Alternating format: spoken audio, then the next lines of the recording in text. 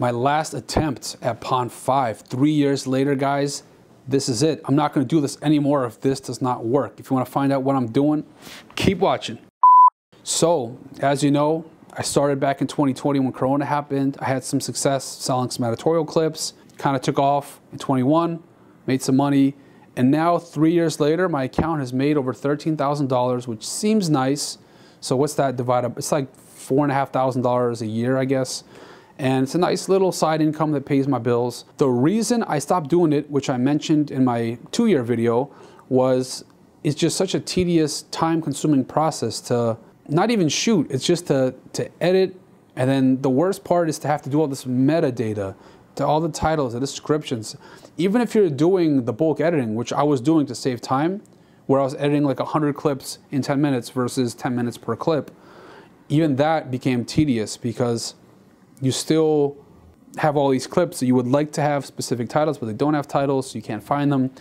And I don't know, it just it was just such a tedious process to make this money. And ultimately, I what really stopped me from doing it was just focusing on stuff that was more income generating. So I realized like if I spend 10 hours doing Pond 5, I'll only make X amount versus spending 10 hours to find new clients for new productions, you make 10 times 100 times more money. So it's like, how do you want to spend your time? And that's kind of what really hit with me. That's why I kind of stopped doing Pond 5. Now, the reason right now I'm giving one last attempt, what changed was, I'll tell you, Chat GPT, artificial intelligence, AI, where you can just put in a title and it plops out a whole whole story of keywords and SEO and all this stuff. I thought, what if I can just use that for all my footage, all my clips, all my reels? And that's what I did. So last year in 2000, well, almost two years ago, in December 2021, I went edited stock reels for all my projects where I basically just took all the clips, I stuck them in one big video, I put a watermark over it, and I stuck it up on YouTube so I could try to search, get ranked in the SEO for people looking for those clips. That was not a success. I got maybe a few, like like four or five shoots where people on the internet hired me to shoot some video in Florida for like some drone videos, but only that was it wasn't that much money, and I, I don't know if that really made a difference in sales. I, I did see my Pond 5 view count went up, but I still made the same amount of sales as the, as the year before. So I do not think my YouTube Reels made an impact. The one mistake I made with the Reels was, okay, even though I uploaded all these Reels, like 150 Reels, I only did the title. And I put a generic copy pasted description with contact info. And the reason I didn't fill out those descriptions is because it is so much work to write and type each thing. So that's why I just put a generic contact description on my reels. So the titles were specific to whatever the footage was, but the description wasn't.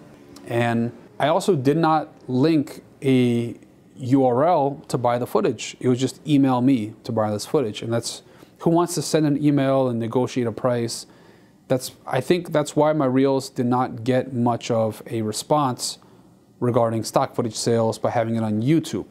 In the past, when my reels did generate sales, was when I provided a specific reel of, of footage for like a news segment looking for that types of clips. But I've not really been in that world. I haven't, ever since Corona, I kind of stopped, you know, it's been like three years. I haven't really been involved with news people at all. So that's why no one really bought that footage. So just having these reels on YouTube didn't make me money. But the difference now with Chat GPT is I had all these stock reels optimized for their title. I had all the descriptions fully written out by the computer. It took me like two seconds, and it puts the SEO, the keywords. I even included the search phrases for this type of footage, who uses this type of footage, put in the hashtags, the key tags, all that stuff. And I would say it took me a weekend. And I went and used ChatGPT for every reel. I then linked the YouTube stock reel to my Pond 5 collection. So I went and created a unique separate collection where you can click it and buy it and see the clips. And I just put it all out there. So right now I got like over, I don't know, 150 reels. They're all connected to a stock Pond 5 collection page. And one more thing that I did, just to test it, I went and lowered all my pricing to the minimum. So I put $25 for 1080 and I put $50 for 4K. I did leave a few clips that I just know are my top sellers, so I left them the regular price. But for like 99% of my clips, I put them at 25 and 50. I want to just test it because I noticed on my Pond 5 page, I get a lot of views, but not as many sales as I would like to have. Definitely not as many sales. So if I'm getting like 5,000 views, I'm only getting like like 10 sales. So it's not a good ratio. So maybe it was the pricing. So I'm testing it, see how it looks, and if it makes any difference. And if it doesn't, I'm gonna put my pricing back the way it was. But this is ultimately my last attempt at Pond 5 because it's just too time consuming.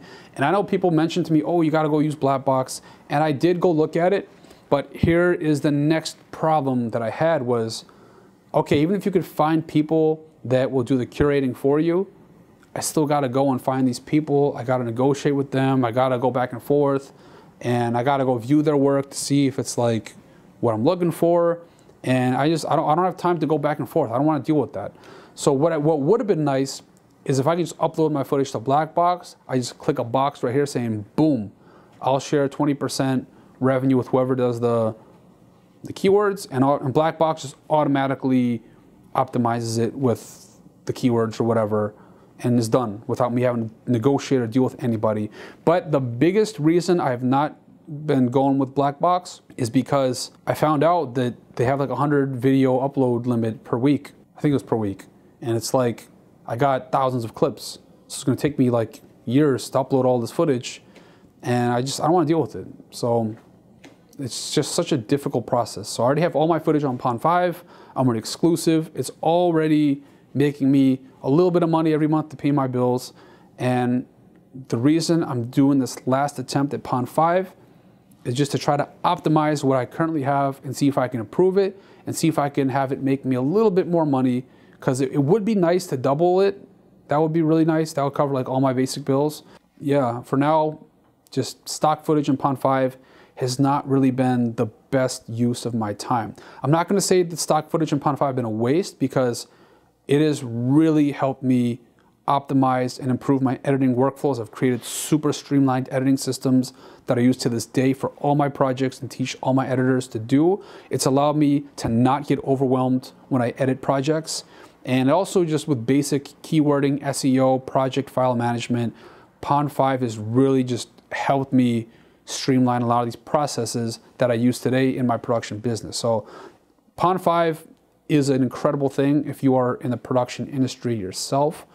But for me, as a passive income stream, eh, Pond 5 is not really, not really cutting it. Stock footage is not really cutting it.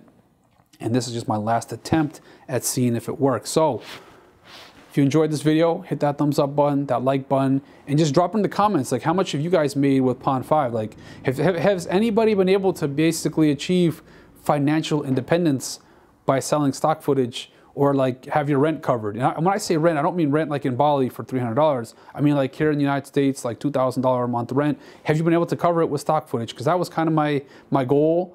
And I've had months where I did make like $1,000. Most parts, it's like three, $400 a month. So it's like my phone bill and my electric bill.